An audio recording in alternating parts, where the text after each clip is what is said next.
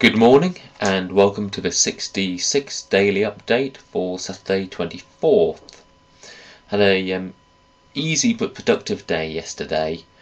Um, not having any desperate deadlines or time pressures on me, it meant I could take my time and work steadily through things. It was still quite a long day, but it was a lot easier than the stress of desperately getting things done for an evening session or to hit a deadline. So, very productive day yesterday. A lot of time was spent working on Rebel Flesh. This is the new dark modern horror setting um, that Ben Jackson is writing. Uh, ben wrote our first adventure, Outbreak, um, and Rebel Flesh is his um, more ambitious take on a whole setting of horror. You can follow what Ben's doing um, on the online tools. I'll, you should be able to see the um, uh, URL just about now, um, and so you can see what's currently there.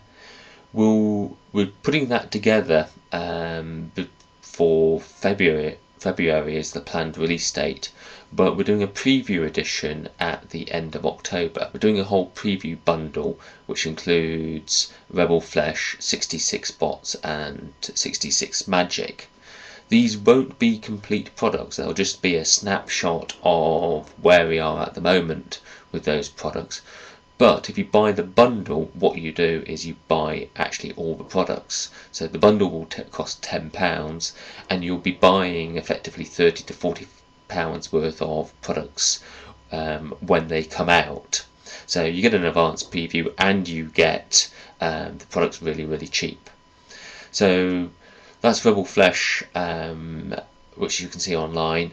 Um, today I'll be working on 6d6 bots, getting that ready for the preview edition and making that um, visible to everybody. At the moment, it's currently in Ben Lally's, the uh, our other Ben who's writing 6d6 bots, Ben Lally's private area on the online tools, and I'm going to shift that into the public area ahead of the preview. So by uh, end of today, you'll be able to find it, and I'll update you on Tuesday with a URL.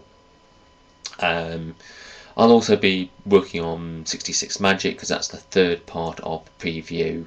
Um, you can already see that online, um, but I need to still start formatting and writing some stuff for that. So a lot of writing, a lot of preparation for the preview edition, uh, which comes out at the end of October. Um, um, over the weekend, I plan to take Sunday and Monday pretty easily. Um, I've got actually a good opportunity to have a quiet weekend, so I'm going to do that.